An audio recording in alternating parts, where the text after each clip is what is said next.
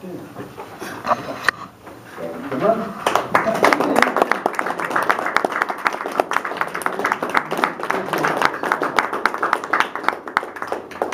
let's see, Easter dinner.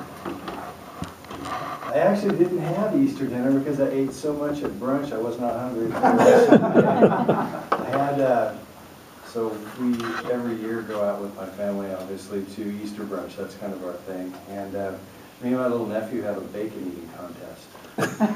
So I did thirty pieces of bacon, it's the only time I eat bacon all year, so I was full from everything else. And so I didn't have a, uh, didn't have Easter dinner, so it was brunch for the day, and uh, that's how Easter went. So we'll see next year if I can top thirty pieces of bacon or not.